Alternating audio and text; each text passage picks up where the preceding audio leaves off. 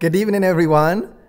I'm so happy to be back and to see all these faces present uh, to enjoy what the Lord has to say, uh, to say to us. And I believe the Lord is a God that is so present in time of need. Don't you believe that? If you believe that, say amen.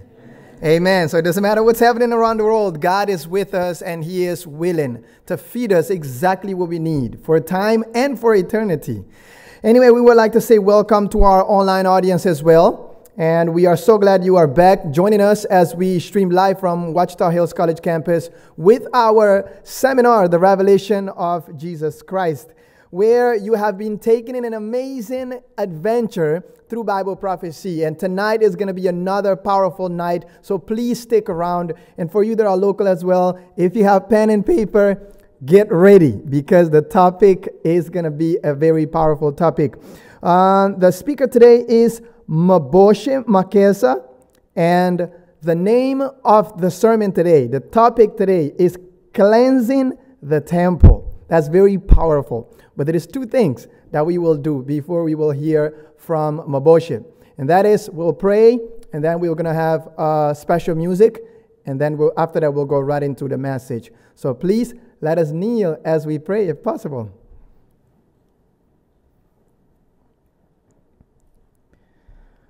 Father in heaven, I thank you so much for bringing us together in the middle of the week to remind us of the amazing love that you have for us, to remind us of the cleansing that is needed to be done in our hearts, Father. Please send your angels to stand right by us, your spirit to communicate to us, Father, that which we would not hear otherwise. Forgive our sins, prepare us as our hearts need this message and speak to us. Put words in the mouth of my Maboshe, Father, to speak to each and every soul present and for those watching online. In the name of Jesus, amen. All right, friends, again, the topic for today is cleansing the temple. And before that, we are going to hear a special music. Thank you so much for joining us.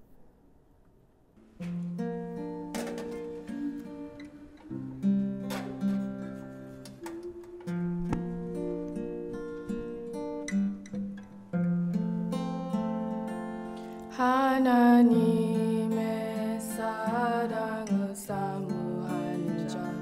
하나님의 평안을 바라보는 자.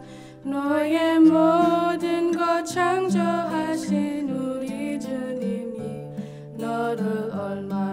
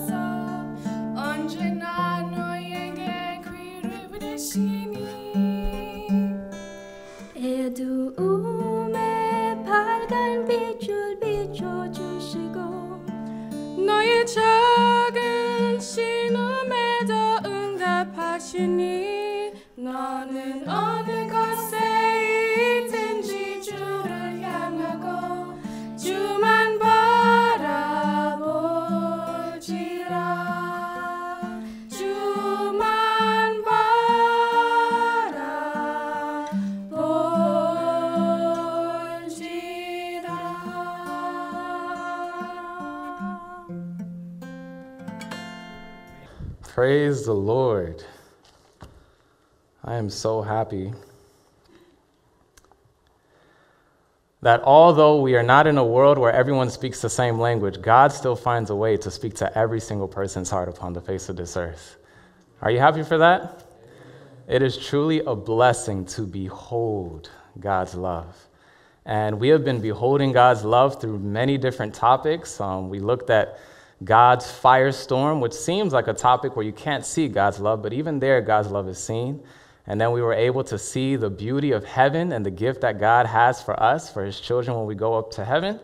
And this evening, we are going to be talking about God's house. God's house. And the title is entitled Cleansing the Temple. Cleansing the Temple. You know, this is a very special topic to my heart. It is definitely one of my favorite topics. And God really wants to share something very, very important with us this evening.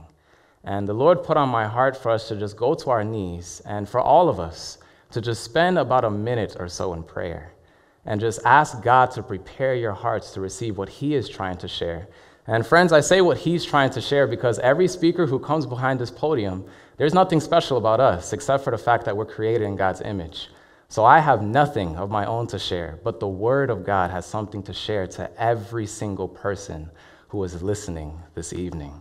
So let's go to our even, just go to our knees and let us pray, and then when you hear my voice, we will open.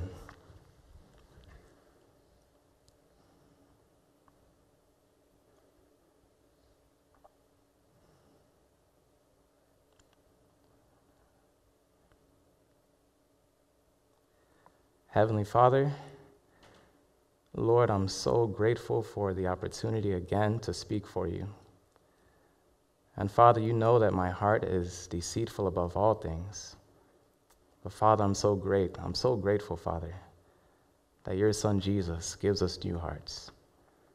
And Lord, this evening, I'm just asking that you'll give us your Holy Spirit. Give me your Holy Spirit, Father. And help me to be able to communicate what it is that you want us to hear Please protect our minds from being distracted, Father. Protect my words from saying something that shouldn't be said. And I'm so thankful again, Lord. I'm very excited to hear your voice again. Speak through me, O Lord, and we ask this in Jesus' name we pray. Amen. So, we're going to look at God's house, but specifically, we're going to look at two things. One of those things, we're going to look at the joy of the judgment. The joy of the judgment. Those are two words that people in Christianity don't usually put together joy and judgment. Judgment usually sounds like a scary thing, but tonight we're going to see how it's a joyful thing. And we're also going to answer the question what is Jesus doing right now? Right now, as we all sit inside of this room, what is Jesus doing inside of heaven? The Bible says in Romans chapter 8, verse 34, it is who who died? Say it again. It is who? It is Christ who died, and furthermore is also risen, who is even at the right hand of who? Of God, who also makes intercession for us. So the Bible says that Christ died and he rose again. And it also says that he's interceding for us. What does this exactly mean? The Bible also says in Hebrews 7, verse 25, therefore he is also able to save to a little bit, to the uttermost, those who come to God through him. He always lives to make intercession for them.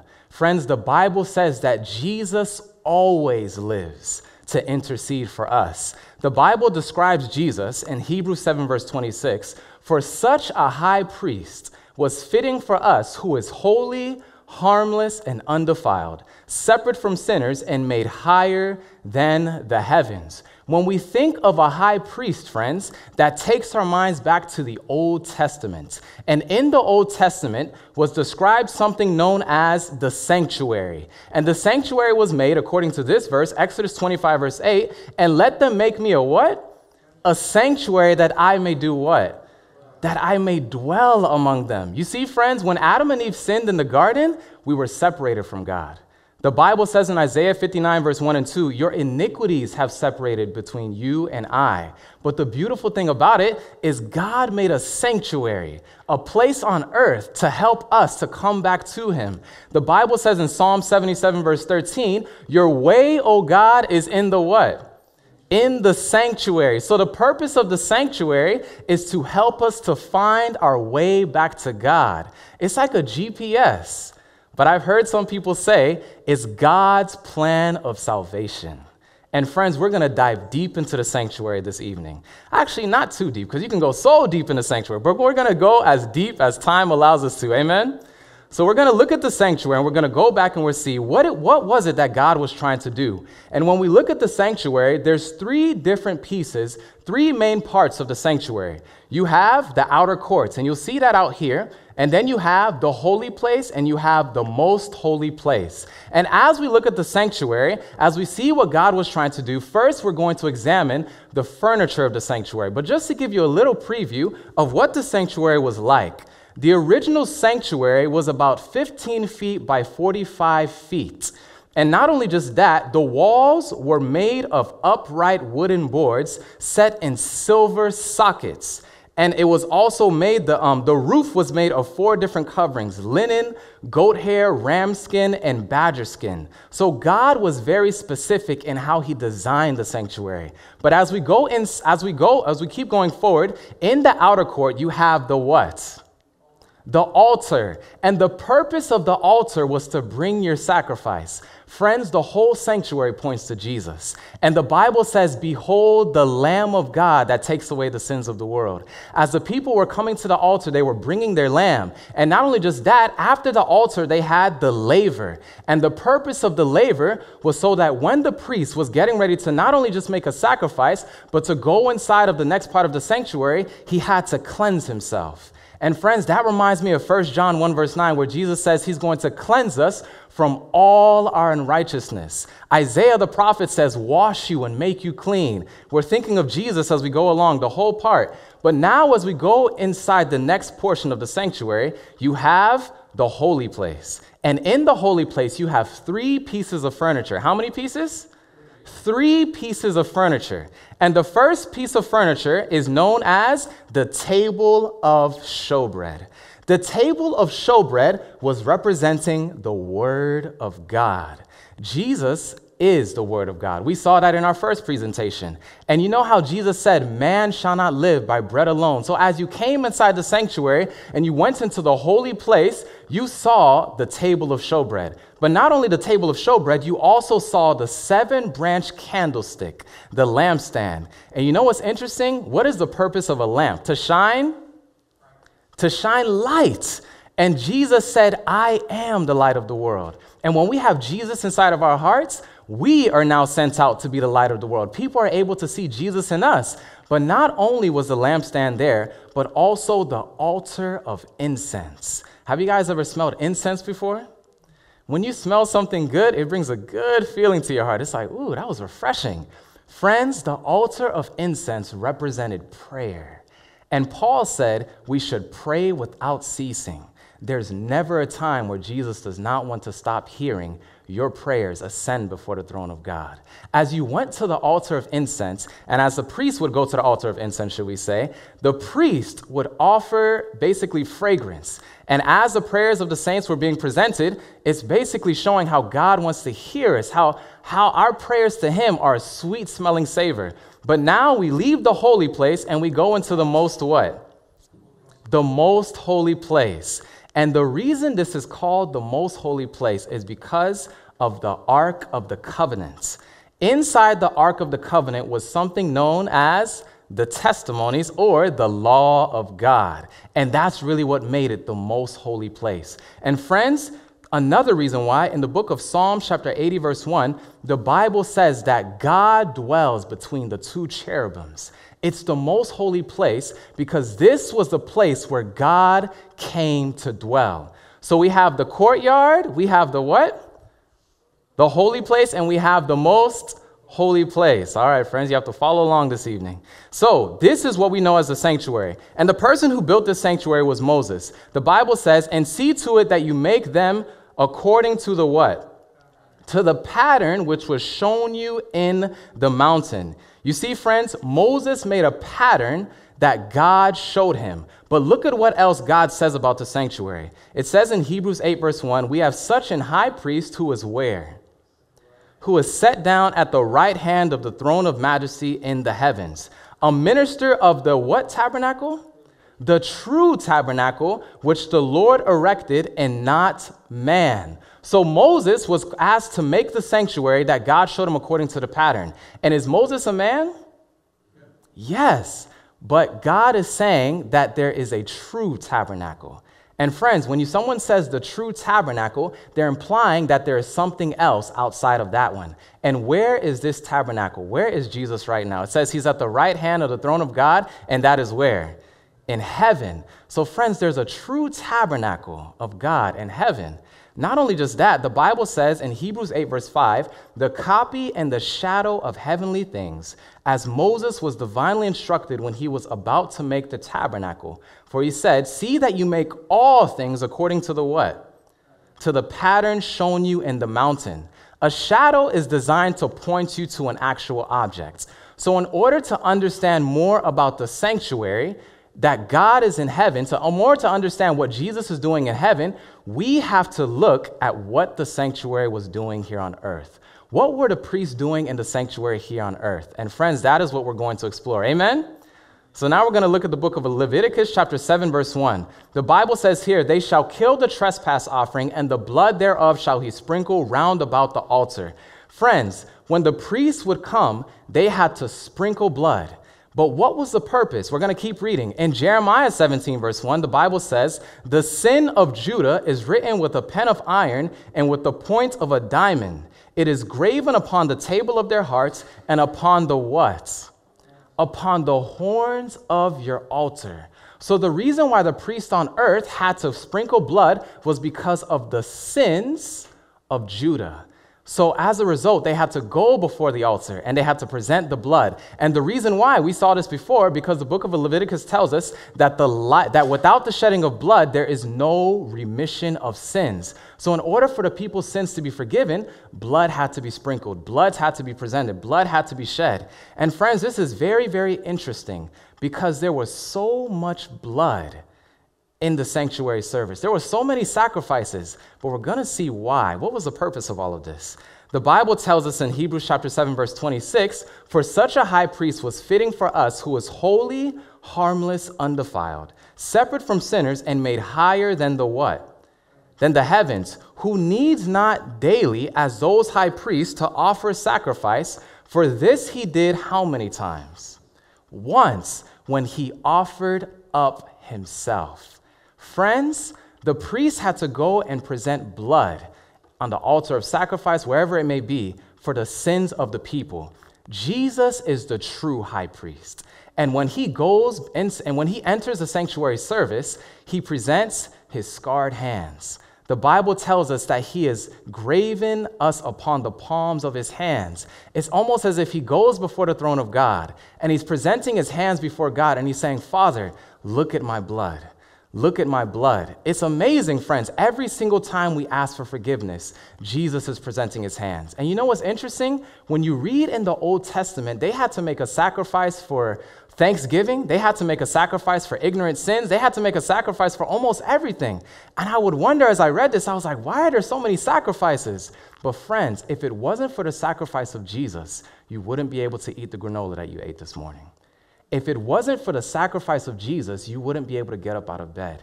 You wouldn't have the sunshine out in the sky. You wouldn't have the rain that falls to the earth to give us the grains and the fruits and the, and the nuts and the vegetables. If it wasn't for the blood of Jesus, we would have nothing. So God was trying to put in the children of Israel's minds it's because of my blood that you have every single privilege that you have here on this earth. Amen? What a beautiful, beautiful privilege. So, as we look at the sanctuary, we are going to see something else that had to take place only once a year. And go with me in your Bibles to Leviticus chapter 16. Leviticus chapter 16. Another part that took place in the sanctuary is being revealed here. And when we look in Leviticus chapter 16, we're trying to understand what is it that Jesus is doing in heaven? And we're trying to see that if we can see what they were doing here on earth, then we will have a better understanding of what it is exactly that Jesus is doing as our high priest in heaven, because there's a true tabernacle in heaven. So therefore, we can get a glimpse into what Christ is doing. Leviticus 16, and we're going to look at verse number 12. When you get there, say amen. Amen. In verse number 12, the Bible says, And he shall take a censer full of burning coals of fire from of the altar before the Lord and his hands full of sweet incense beaten small, and bring it within the veil.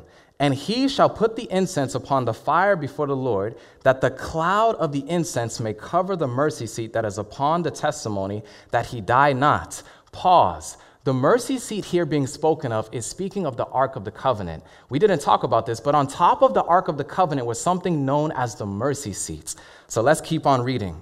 The Bible says in verse 14, And he shall take of the blood of the what? Of the bullock and sprinkle it with his finger upon the what seat? The mercy seat eastward. And before the mercy seat shall he sprinkle of the blood with his finger four times. Seven times. Then shall he kill the goat of the sin offering that is for the people and bring his blood within the veil. And do with that blood as he did with the blood of the bullock and sprinkle it upon the mercy seat and before the mercy seat. Now pay attention to verse 16 and he shall make an atonement for the holy place because of the what? Of the uncleanliness of the children of Israel, and because of their transgressions in all their sins. Friends, the purpose of all of this was to make an atonement for the sins of the children of Israel. But first, we're going to see what part of the sanctuary did this take place in. If you look in Hebrews chapter 9, Hebrews chapter 9, verse 3 through 4, the Bible says, And after the second veil, the tabernacle which is called the what? The holiest of all. You guys don't sound like the holiest of all people. It sounds like the what? It's called the what? The holiest of all, which had the golden censer and the ark of the covenant. So, friends, the place where they were going was inside of the holiest of all, or in the most holy place with the ark of the covenant. And we see here, friends, that there were two purposes that they were doing this for. The first purpose was in Leviticus 16, verse 19, and he shall sprinkle blood upon it with his finger seven times and do what?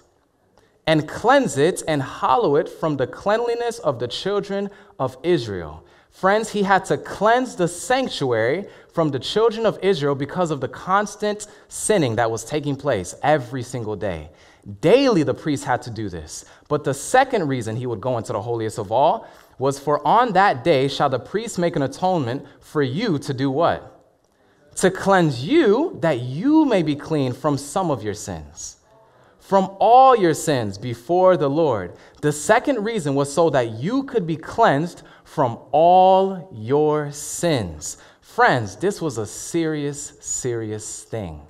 And you can see how serious it is in Leviticus 16, verse 29. And this shall be a statute forever unto you, that in the seventh month, on the tenth day of the month, you shall afflict your souls, and do no work at all, whether it be one of your own country or of a stranger that be among you. Friends, only once a year would this take place. On the tenth month, on the seventh day of the tenth month, the, the priest would go into the holiest hall, into the most holy place, and he would cleanse the sanctuary. But the, the purpose of this was not only to cleanse the sanctuary, but also to cleanse the people's hearts, to cleanse them from all sins. And friends, this is so, so beautiful because they had to spend this time searching their hearts, afflicting their souls.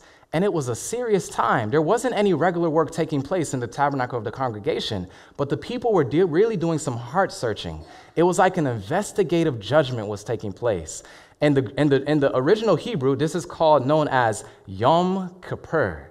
And this was the Day of Atonement, where the children of Israel basically spend time examining their hearts because if their hearts, if their sins were not confessed and forsaken, they would be cut off from the people.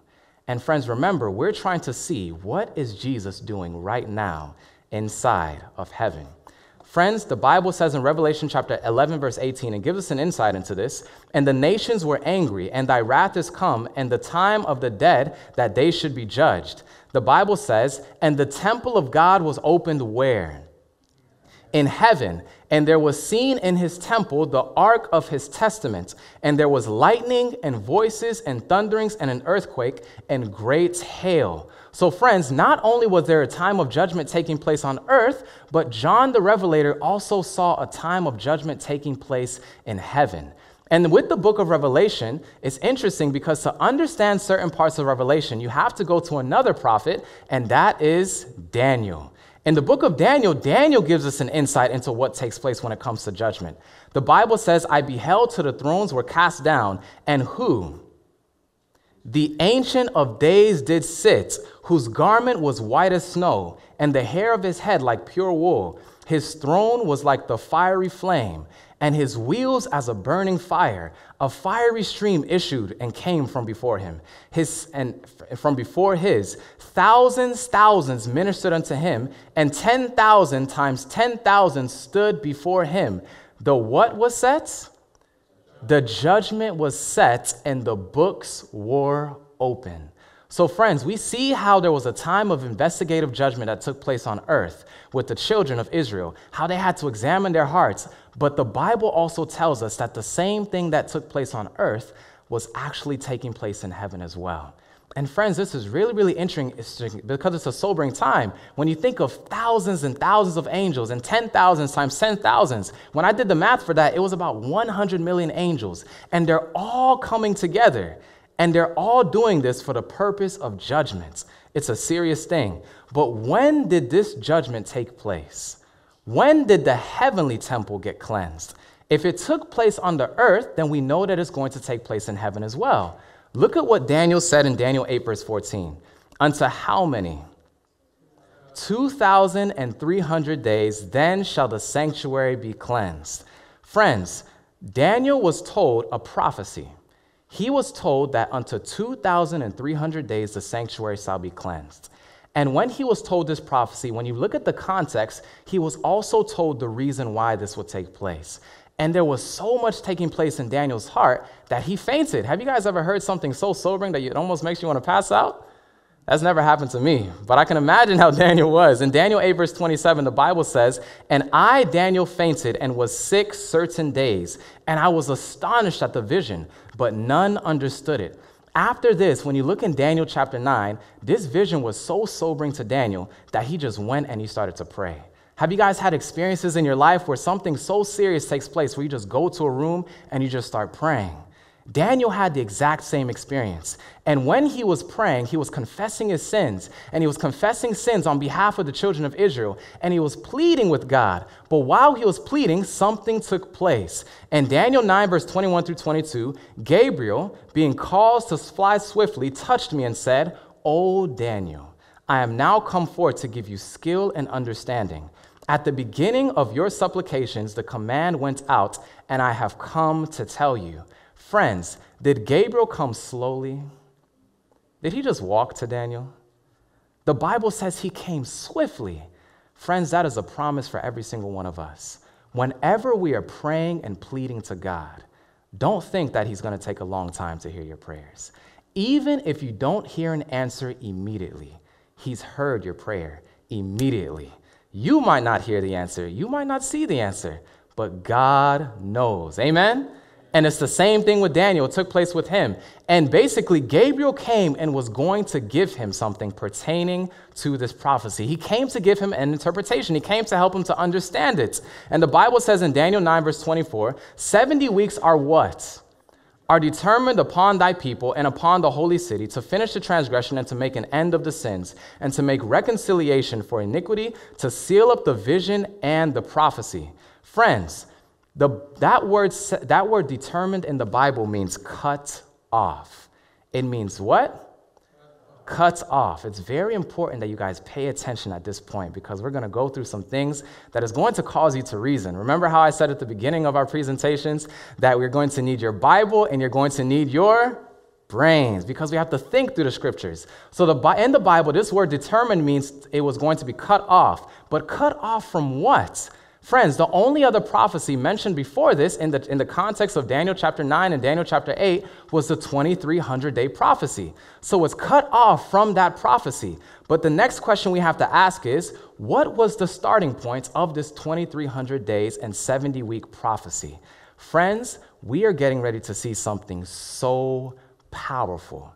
By the time you're done seeing this, if there has been any doubt in your mind that Jesus is real, or that he was the Messiah, the person who was able to save us, then by the end of this prophecy, you are going to be solidified in your own heart by God's grace that Jesus really is who he says he is. Amen?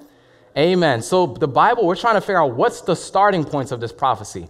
Daniel said in Daniel 9, verse 25, the angel said, should I say, Know therefore and understand that from the what? The going forth of the commandment to restore and to build what place? Jerusalem unto the Messiah the Prince shall be seven weeks and threescore and two weeks. Now, friends, the Bible lets us know when this actually takes place. Gabriel is letting us know that from the going forth to basically restore and to rebuild Jerusalem, this is when this prophecy is going to begin. So, is there anywhere in the Bible where the going forth to restore Jerusalem was actually talked about? In the book of Ezra, chapter 7, verse 12 through 26, we're not going to have time to read through all of it, but it actually talks about this whole situation. And we're just going to look at verse number 13. The Bible says, Artaxerxes, king of kings, unto Ezra, I make a decree that all they of the people of Israel in my realm of their own free will to go up to where? To go up to Jerusalem. So, friends, the Bible tells us when this actually took place. And it's interesting because it tells us that who was king? That Artaxerxes was the king. But not just that, if you look up here, it tells us when Artaxerxes was the king. And there went up some of the children of Israel in the seventh year of Artaxerxes the king. Now, this is very powerful because when the Bible gives you a specific time, guess where you can now go to see if that time is true? To history. So, all we have to do is go to history and we have to see when did Artaxerxes become the king? And then we have to see the seventh year from then, and then we will start to get some answers. So I'm trotting along through the scriptures and I'm, going through history and I'm going on Google and I'm looking, okay, when was Artaxerxes put in place? The, the, the, we're actually told in history that the decree of art that the decree of Artaxerxes was basically given in 464 BC. No, not 460, not, not the decree, but Artaxerxes was placed in, on the throne in 464 BC. Now it's interesting, when you go online and you look this up, you're actually going to see that he was placed on the throne in 465 BC. But the unique thing about the way they did their times as far as determining when a king was reigning, they basically started their Jewish years in the fall. So he was basically placed on the throne. Let's say it's kind of compared to me coming to college, and let's say I start my freshman year in the fall. What month do we start freshman year here? We start in August, correct? But then you go to your spring semester, and is it still my freshman year? Yes, it's just the second semester. The same thing with Artaxerxes. When he was placed on the throne, it was 465 BC in the fall, but it carried over into the, into the next fall of 464 BC. So it was still the first year of his reign. Does that make sense? Amen. Praise God. So we can see here that by looking at history, we see that Artaxerxes was placed on the throne in 464 BC. But not only just that, we can now see that if we take seven years from there, we will come to 457 BC.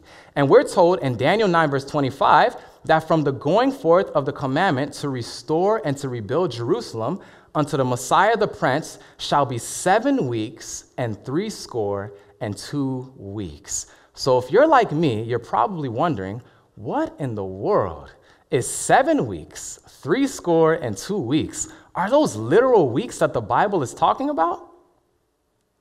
Yes? No? What do you guys think? No, they're not. But these have a meaning in prophecy. Friends, the first of all, when it comes to three score, that basically is just another way to say 60. One score is 20, so three score is 60.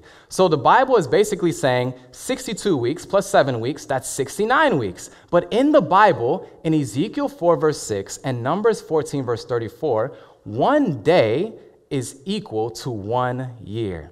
So it's basically not one day is equal to one year, but it, when it's speaking of a day, it's talking about a year. So we're going to try to break this down. So we have 69 weeks that has been told us in the prophecy, correct?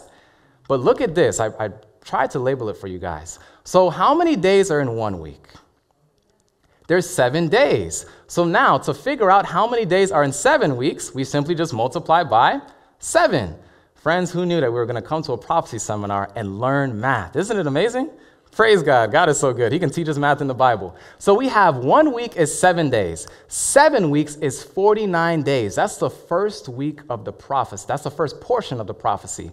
And then we have 62 weeks. 62 times seven is basically going to get us to 434 days. But we saw that a day in Bible prophecy means one year. So keep that in mind. So it's not 434 days, it's 434 years. So now, when you add 434 to the 49, the first part of the prophecy, you get how many days? 483. Now, this is really, really powerful. God is giving us very specific numbers. And now we simply just do the math. So we see 457 AD, which was basically when Artaxerxes gave the command to restore and rebuild Jerusalem, and we subtract that from 483. Now, why are we subtracting? And that should actually say 457 BC. But why are we subtracting? When you look at when you look at BC, when it was basic when BC was taking place, in order to keep going forward in years, the numbers didn't go up, they went down. Everyone knows that. If you look 457 minus 483, we get to 26 AD. But here's the thing when you're counting down in years, is there a year zero? There's no year zero. So you have to add one to account for that year. So, friends, when we're looking at this, we come up to 27 AD. I know that might have sounded a little bit confusing, so I'm going to go through it again. So we have 457 BC, which was when Artaxerxes was received the command to restore and rebuild Jerusalem. We take 483 years and we count all the way down and we go to 26 AD. But now we're saying, wait, there's no year zero, so I have to add one. So now we get to what AD? 27 AD. Was there something that took place in 27 AD? Let's keep finding out. The Bible tells us in Luke chapter 3, verse 1, the Bible says, now in the 10th year in the 15th year of the reign of, of, of Tiberius Caesar, Jesus also being baptized, and the Holy Ghost descended in a bodily form. Friends, this is very, very powerful. Now we go to history again and we look at Tiberius Caesar. And then we go to history and we find that Tiberius Caesar was put into office, or he was starting to reign in 14 AD.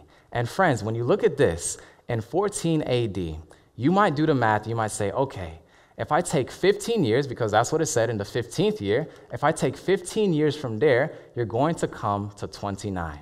But it's the same exact thing with the way they did it with Artaxerxes. They started their years, and the Jewish year was basically started from fall to fall. So when you're starting Tiberius Caesar's year, it was actually talking about how it started in 13 AD and then it went to 14 AD. That was still a part of his that was still a part of the first year of his reign. So then you go from 14, from 13 to 14, that's the first year. And then 14 to 15, that's the second year. And you keep going down, and you can do the math on your own fingers, and you'll come to 27 AD.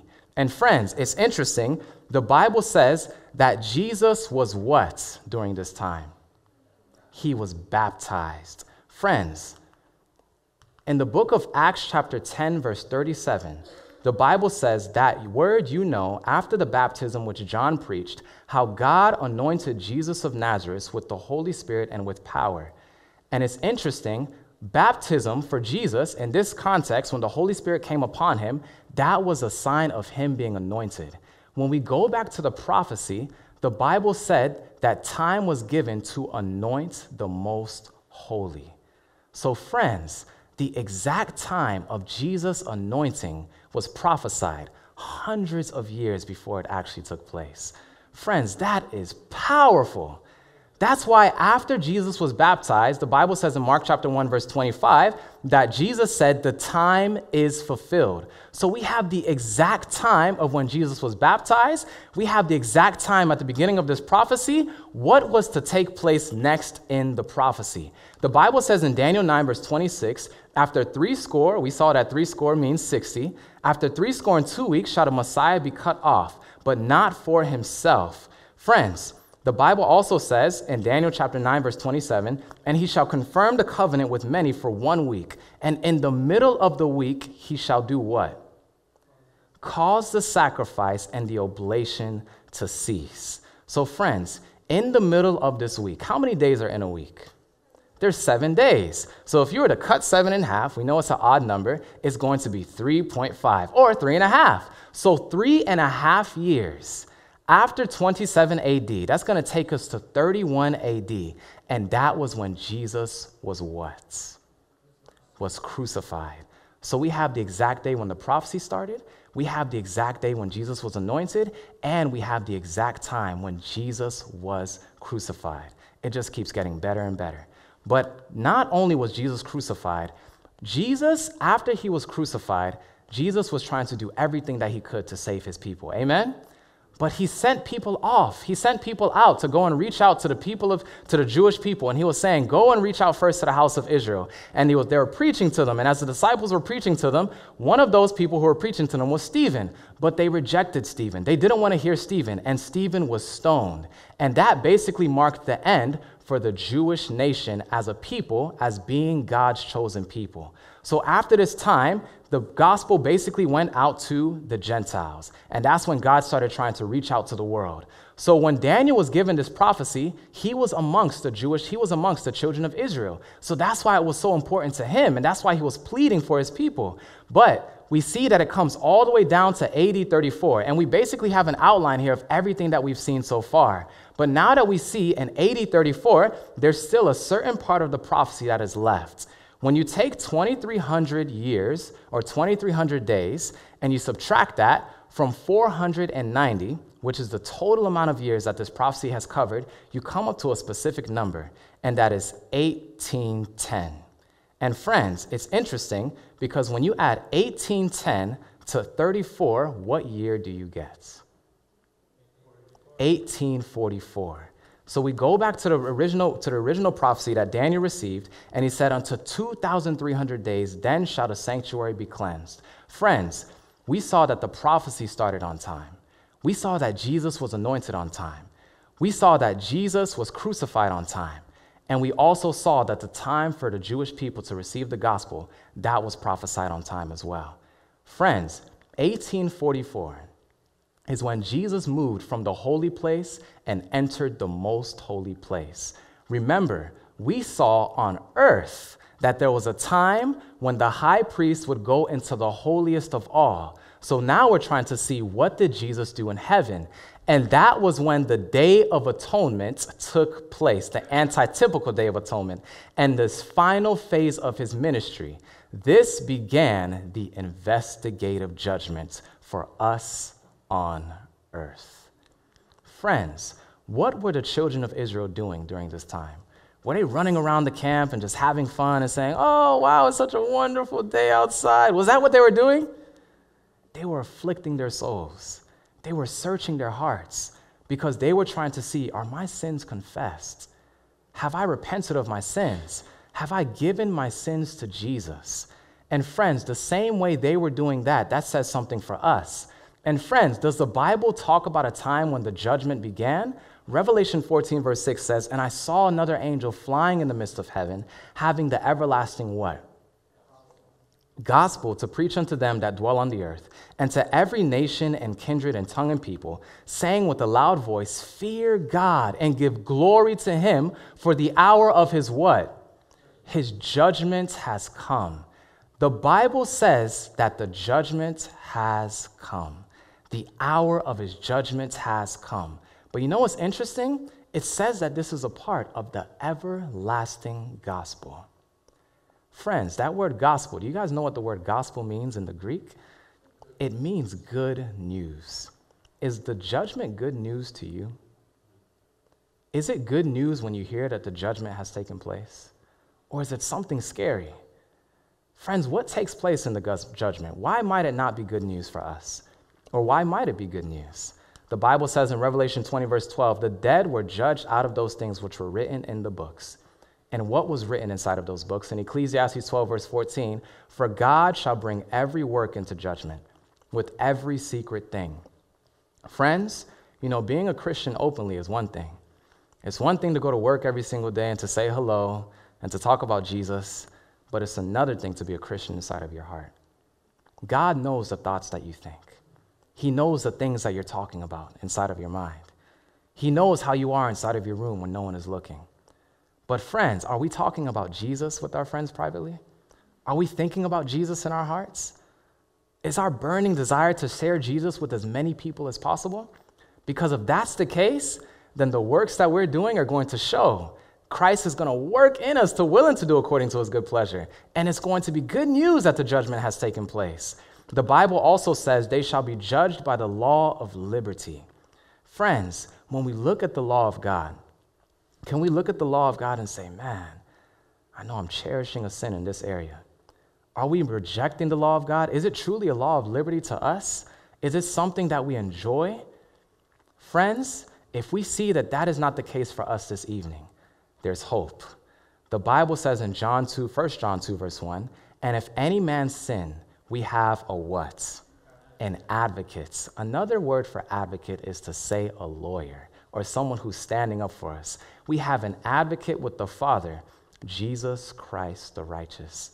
Friends, if you see that your sins have been inside of your heart and you've been holding on to them, if you see that the judgment is not something you look forward to because you see there's certain character traits that you just don't want to let go of, or you're not allowing Jesus to put you through the trials of helping you to go through those, to take care of those character traits, then we can look at Jesus, who is our advocate, and we can look to him and have hope and say, Lord, please help me, plead my case, give me strength to actually do that which you want me to do. That way we can truly look at the judgment as good news. Amen? And the last verse, friends, the Bible tells us in Acts chapter 3, verse 19 Repent ye therefore and be converted, that your sins may be blotted out. Friends, God is asking us to turn away from our sins. That's what repentance means. And when we turn away from our sins, it is only then that Jesus can truly blot out our sins, that he can plead our cause before the Father and say, Father, look at my blood. Look at what it is that my children have done. We can look hopeful at the judgment. Jesus is our advocate, he's our judge, and he's our faithful and true witness. And friends, as you guys listen to this song, have hope. Have hope that the judgment is not something that you have to be afraid of, but Jesus is doing a work for you. It can truly be a joyful judgment.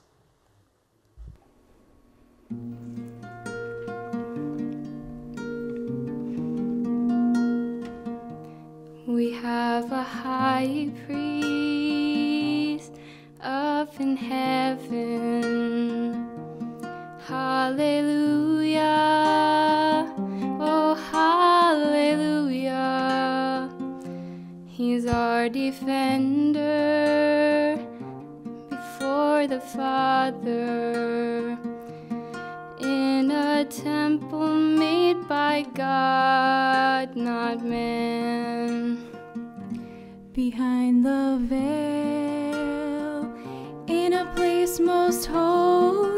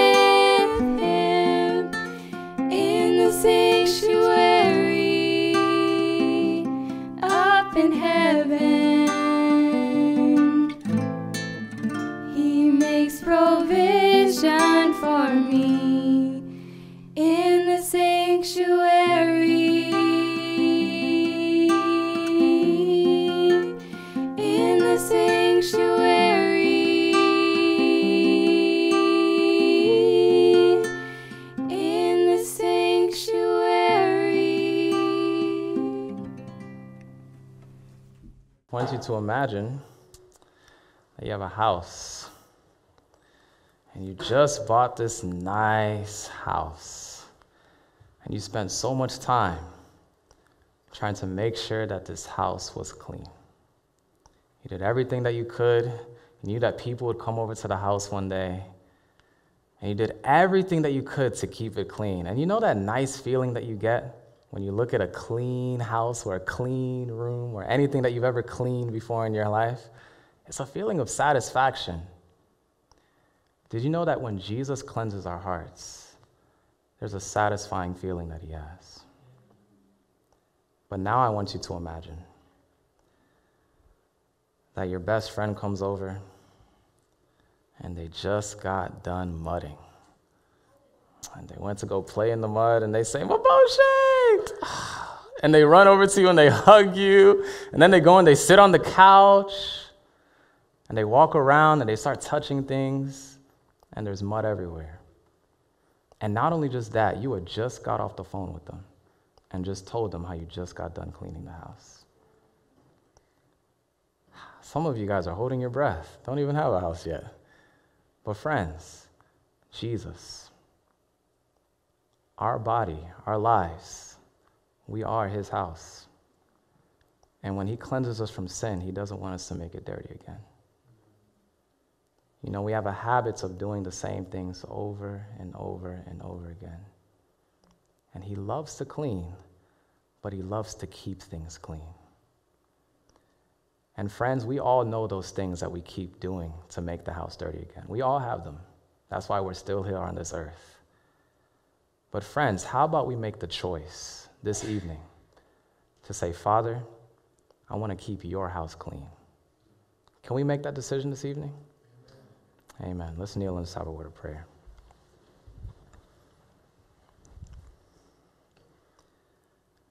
Father, I thank you, Lord.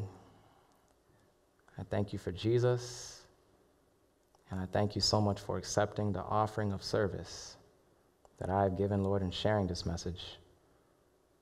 Lord, I'm asking that you'll pour your Holy Spirit upon the hearers. I'm asking that that which I was not able to communicate clearly, that your Spirit may teach them in their secret places, that you may make it clear to us what it is that you're doing in heaven right now. Help us, Father, to keep your house clean. Please. We need help, Father. We can't do it on our own. And I'm so thankful that we have a high priest who is here to help us. And we ask now, Father, for your Holy Spirit to walk with us, that we may truly not walk in dirty places. Be with us as we go throughout the rest of this evening. And we ask this in Jesus' name we pray.